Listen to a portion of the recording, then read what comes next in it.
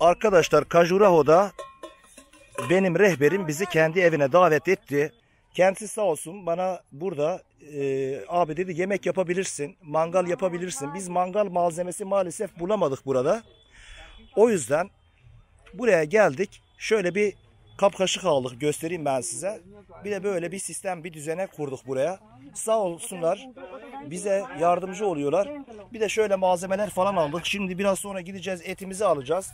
Bunları buraya dizdik böyle. Ee, evin ahalisi de komşuları falan da geldiler böyle yanımızda oturuyorlar. Beraber burada bir yemek yapacağız. Ben daha önce bir iki kere yemek yapmıştım. Çok profesyonel değilim. Yemek yapacağız. Burada yemeğimizi yiyeceğiz.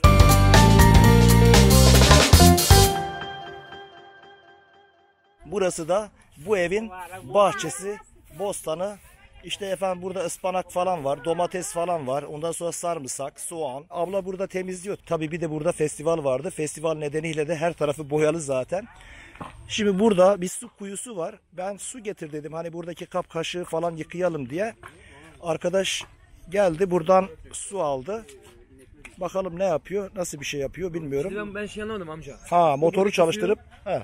Abi, abi abi bak şimdi bunun içine döküyor motordan şimdi su, su çekecek. Motoru çalıştıracak su çekecek. Bakın burası bayağı bir derin kuyu. Sence kaç metre var abi burası? 40 metre, 30 metre. Ha, 30 metre rahat böyle bir derinliği var. 30 metre derinlikten arkadaşlar su çekiyorlar. Bu abiyle de biz dün gece trende tanıştık. Öyle tesadüfen İbrahim tanışmıştı. İbrahim de şu an yanında. Abi adam nereden tanıdıysa artık yani Nihat abi kendisi Almanya'da 40 yıldır Almanya'da yaşıyor.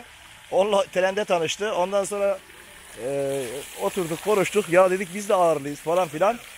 Öyle iyice samimi olduk. Kendisi farklı otelde kalıyor. Biz farklı otelde kalıyoruz. Ama bugün davet etti kendisi. Dedik valla böyle böyle. Sen kaç gündür buradasın? Dedi ya ben 3-3,5 haftadır buradayım ama doğru düz bir yemek yemedim. O zaman dedim abi sen gel bu akşam bizim yanımıza.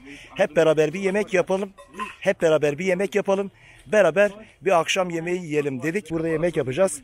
Hep beraber yemek yiyeceğiz. Ben bunu size göstermeye çalıştım. Böyle konu komşu. Herkes de burada yanımızda. Gün batımını da şurada göstermeye çalışayım arkadaşlar size. Umarım görebiliyorsunuzdur. Gün batışı burada çok güzel görünüyor. Bak şimdi patatesi abla burada böyle döktüğü yere bize patates yıkıyor. Yemek yapacağız. Yani tabii bunlarda hijyen anlayışı bu şekilde. Bunlarda Bunlar abi abi bunlar, bun- bunlardaki hijyen anlayışı bu şekilde biz şimdi onları kendi getirdiğimiz suyla durulayacağız. Aynen. Pişti, piştiği zaman bir şey kalmaz abi. abi abi çok fazla Türkçe bilmiyor. Kürtçe ve Almanca, İngilizce biliyor. Nihat abi de Almanya'da yaşıyor. Köln'de yaşıyor. 40 senedir orada. Tabii ondan dolayı da e, Türkiye'de yaşamadığından dolayı ana dili olarak Kürtçeyi biliyormuş. Oraya gittiği zaman e, daha 6-7 yaşında olduğu için Almancayı öğrenmiş. Dolayısıyla e, böyle arkadaşlar. Biz şimdi hazırlıkları yapıyoruz burada. E, yemeği yaptığımız zaman da e, çekmeye çalışacağım arkadaşlar size. Malzeme aldık ama malzeme evde kap kaşık çanak tabak olmayınca gittik marketten bir şeyler daha aldık. Çünkü burada hakikaten hijyen kuralları çok yetersiz. Çatal falan yoktu. Çatal falan aldım. Ondan sonra 3 tane tabak aldım. Bir tane kase aldım salata için. Bir de e, ne diyorlar kova aldım. Etleri metleri yıkamak için. Tekrar eve döndük. Motorla hızlıca gittik geldik ama kasap da etimizi bir hayli geç getirdi. Şu an saat 7.45 et yapacağız. Bakalım İbrahim İbrahim şu an var ya perişan halde aç aç ağzını açmış yatıyor. Selam aleyküm abi. Aleykümselam. Ne yapıyorsun abi iyisin? Merhaba dostlar. Bakın abi şeyi görüyorsunuz tertibatı bekliyor ha. Beyefendi böyle burada yatıyor işte. Görüyorsunuz. Evet arkadaşlar şu an Hindistan'da tatilimizin dördüncü günündeyiz. Amcam Hindularla birlikte inek inek eti yapıyor. Yani bir ay daha kalsa adamları Müslüman yapacak. Ben iddiaya girerim. Vallahi çok ciddiyim şaka yapmıyorum. Şuraya bak. Adamlara gitti et getirtti. Soğan getirtti. Buradan size göstereyim. Domates getirtti.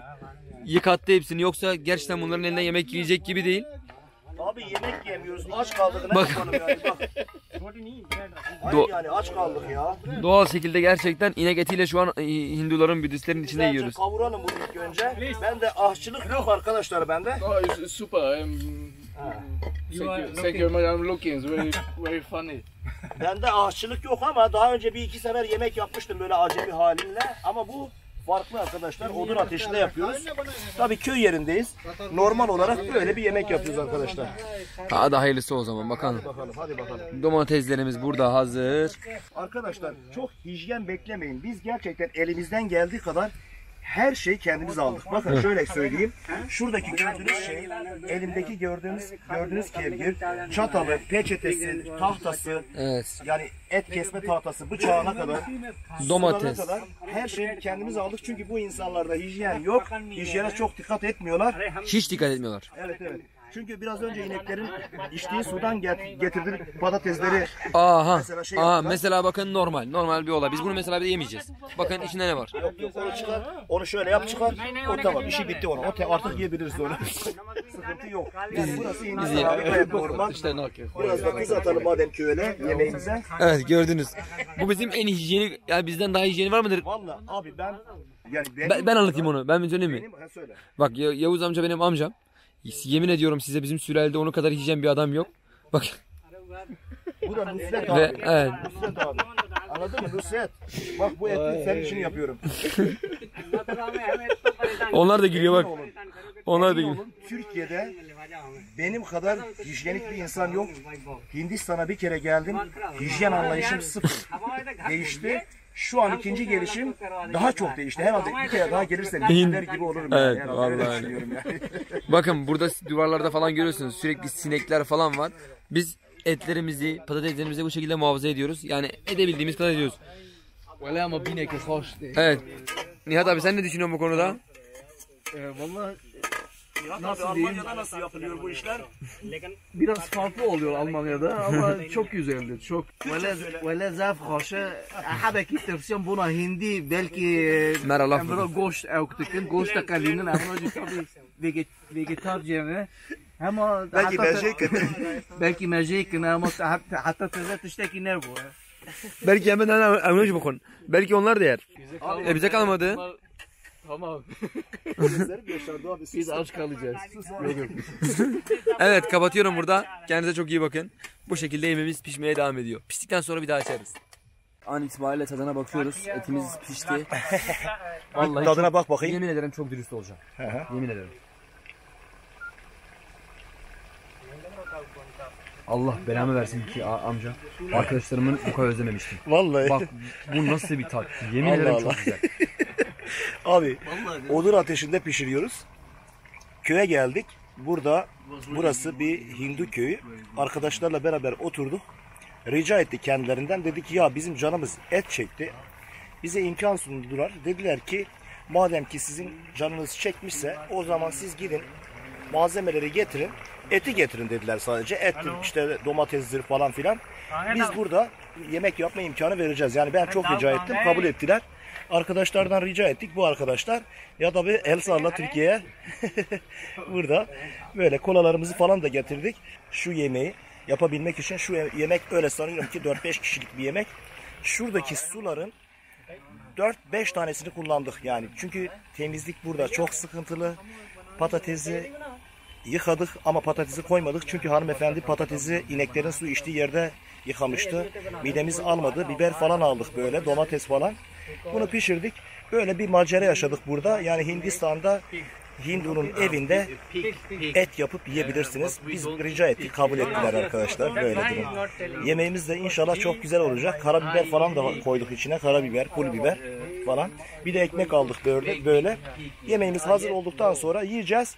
Arkasından kolaları içip karpuzumuz da var. Karpuz da yiyeceğiz. Çay alacaktık ama ben buradaki e, çaydanlık ve şeylere güvenemedim. E, demliğe falan güvenemedim. Çünkü çok pisler. E, böyle arkadaşlar. Umarım beğenirsiniz. Abi yemeğimizi yaptık getirdik buraya koyduk. İbrahim ışığı çok kestim. Biraz kenara çekilsene canım benim. alakası yok ki. Işık nerede? Dur amca yemek İbrahim, yiyoruz İbrahim bir dalmış var ya şu an. Hmm. Vallahi güzel mi? Almanca söyle Almanca. Sehr lecker. Super Essen. Be- böyle de yaptı. Hmm, yapıyordun ya. Mm, Söyle bakayım Almanca öyle diyorlar ya. Hmm. mm, lecker. Leke. Biz bunu otele götürdük amca. Ha? Otele götürdük. Oğlum bitir bitmese götüreceğiz zaten. Arkadaşlar yemeğimizi yaptık böyle getirdik. Limon da dökelim mi biraz? No no amca lütfen. no no no. Şimdi yiyelim arkadaşlar. Uh, what you want to do in Mahova like uh, uh, cow animal cutting. yeah. So sorry for that because I called him. So they are told me today, uh, the, uh, yesterday was start Hindu and Muslim fighting there. Oh. So for five days closed in Mahova. So you cannot go there. So sorry for that. What you want? So I cannot. Uh, provide that kind of if you want to other things we can provide Okay. Arkadaşlar biz abiyle görüştüğümüz zaman abi bizim rehber ben demiştim ki biz e, Hindistan'da kurban kesmek istiyoruz. Dana eti, e, inek eti kesmek istiyoruz demiştik. O da demişti tamam dedi. Ben demişti ayarlayacağım demişti. Mohova diye bir yerde kesecektik bunu.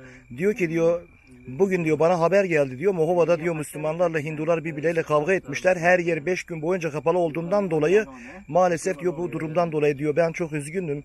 Sana söylemiştim ama maalesef kesemeyeceğiz dedi bana. Yoksa bizim planımız vardı. Biz burada dana kesecektik veya e, bir tane inek kesecektik. Etini de Müslüman ailelere dağıtacaktım. Böyle bir durum söz konusu maalesef. Kusura bakmayın arkadaşlar bu durum için. Yoksa biz hakikaten kesecektik yani. İbrahim sen biraz önce dedin ki ben ne görseydim bu kadar sevinmezdim dedin.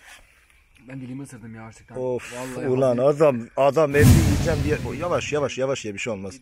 Sen de mi dedin ki ben bir çuval hazine görseydim? Burada bir çuval, bir çuval hazine görseydim ben yemin ederim daha bu, bu- böyle bu şekilde daha mutluydum. Sebebini söyleyeyim mi? Yani bu bu yemeği bu yeme, yemeği gördüğün için mi daha mutlusun? Yoksa Bence sen insanlara yemek tarifi ver. Vallahi gezgin bir adama falan sal. Boş ver. Git yemek yap. Nihat abi sen de biraz önce bir şey söylemiştin ama çok güzel mi oldu? Novo Nando. Nihat abi sen Kürtçe sen Kürtçe söyle bir şey olmaz. Valla kurmacı yani kurmacı zara yani pek Nihat abi Kürtçeyi de unutmuş. Peki abi afiyet olsun. Arkadaşlar bu köye geldik. Kapkaranlık. Şu an köy evindeyiz. Oturduk burada yemeğimizi yaptık. Et yapınca buradaki beyefendiler aslında burada oturmuş olan Hindular vardı. Onlar da et yiyeceklerine söz verdiler.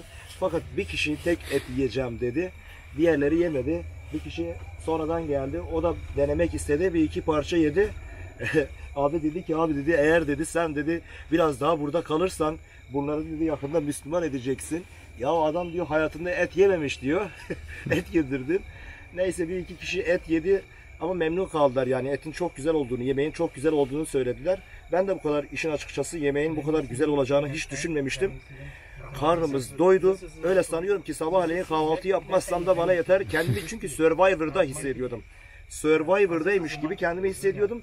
Ama gerçekten karnımız doydu. İbrahim kameranın arkasında. İbrahim sen doydun mu canım?